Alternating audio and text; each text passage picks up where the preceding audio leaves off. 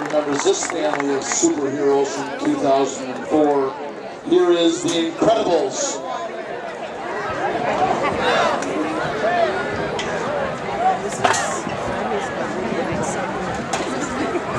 It's Mark.